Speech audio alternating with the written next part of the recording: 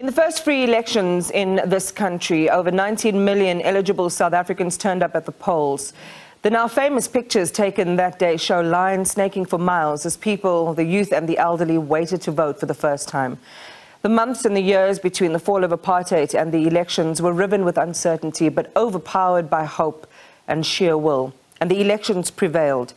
On this Freedom Day, in a major pre election year, we take stock of that first election reminisce about the hows and the whats, but mostly on what was present then that is missing today, that is once again needed to create a platform for people to express their free will. And to do that, we are in conversation tonight with the first IEC chair, Judge Johann Kriegler. Hopefully, we'll be joined by the IEC's uh, deputy CEO, but for now, we'll just talk to uh, Justice Johann Kriegler. Good evening to you and welcome, Judge. Let's start with the operational side. You know, at that point, you were a man without experience for the job. You were plucked from the SCA. You didn't have staff. You didn't have budget. And then they wanted you to deliver all of this in just four months, to pull off an historic feat. And I would love for you to take us back to your recollections uh, of that time. Uh, good, good, evening, Iman, and to the viewers. Uh,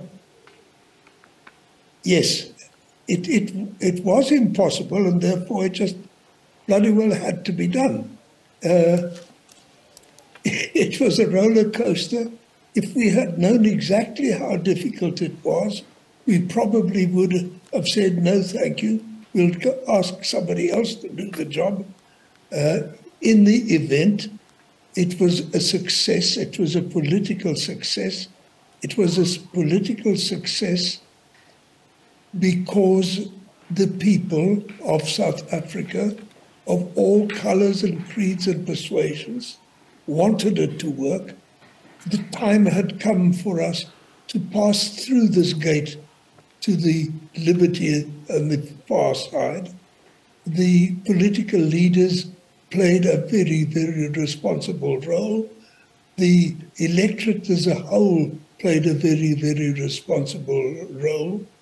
The threats of violence disappeared uh, the problems of administrative inexperience and lack of capacity were overcome with a bit of a lick and a promise and a little bit of scotch tape here and chewing gum there.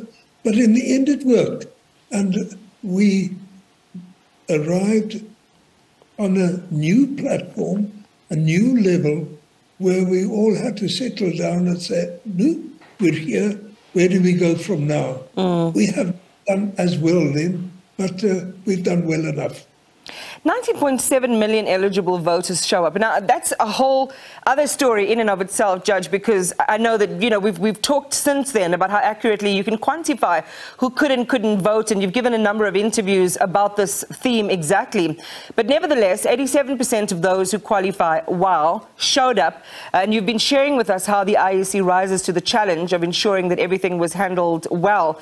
But when we think back, even operationally, you know, there wasn't enough ink. You ran out of ultraviolet lamps, and, and still an election was pulled off, which was, which was declared to be legitimate. We had a number of thousands, actually, of international observers.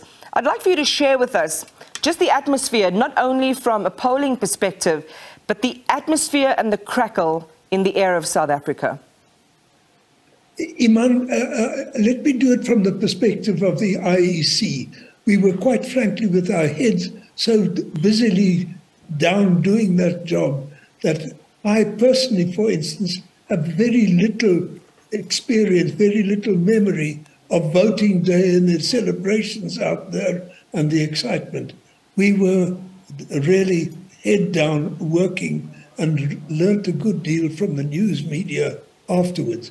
But from our point of view, we started in January for the first time.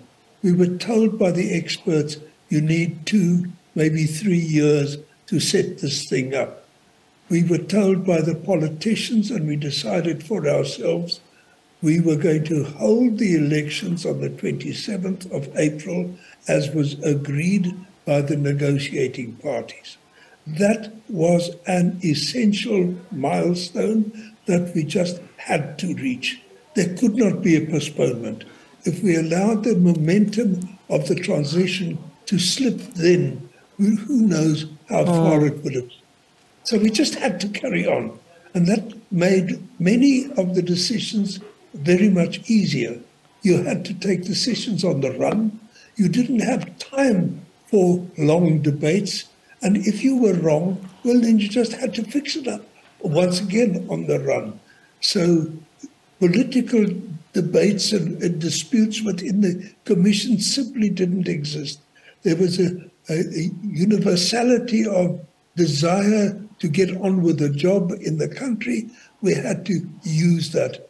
Our public relations exercises, our advertising, our, our marketing was focused on selling the concept to the public. South Africa is on its way. Mm. We're all going to the polls. This is our election. This is our transition. This is our hope for the future. Let's all work together. And that spirit did prevail, and it made it a downside easier in the light of all of the administrative handicaps. But then, as, as we got closer to the election, as election day started getting nearer and nearer, and there were still a number of boycotters, a number of groups that were not in the game, number of people who could spoil the game, number of people who could sink the ship before we had even started. The tension mounted. It was in Bophuthatswana, it was in KwaZulu, it was in the Eastern Cape, it was in the st- stronghold of Afrikaner conservatism, mm. particularly in the Western Transvaal. Uh, we just had to keep going, and we kept running, and it worked.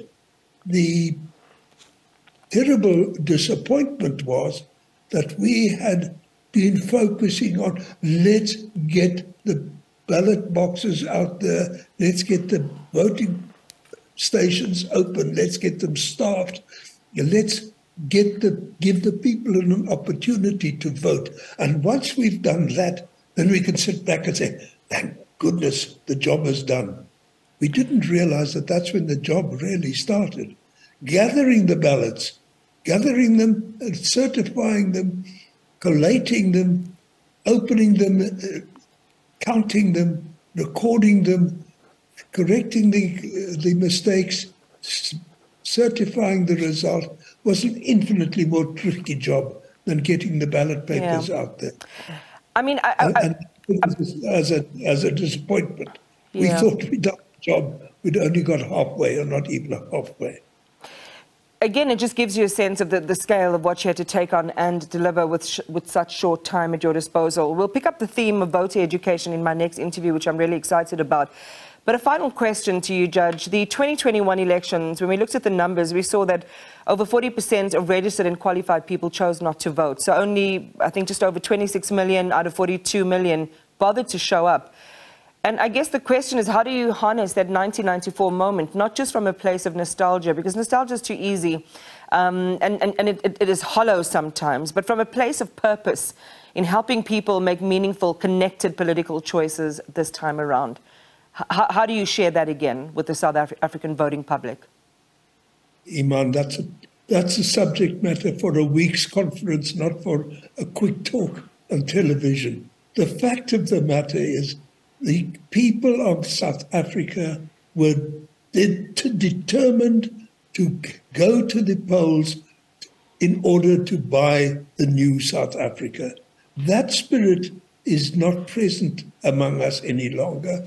We don't have the political leaders that we had. We don't have the environment that we had. We need a rethink of where we are going, why we are not getting there. And that is a national commitment which was not tied to politics. I was, for instance, profoundly disappointed by the president's speaking, speech this afternoon. It was a party political speech, it was not a presidential speech. That kind of attitude will not see us through the electoral successes of the future match what we had in 1994. Justice Johann Kriegler, retired Constitutional Court judge and our first IEC chair, thank you for joining us and sharing those reflections.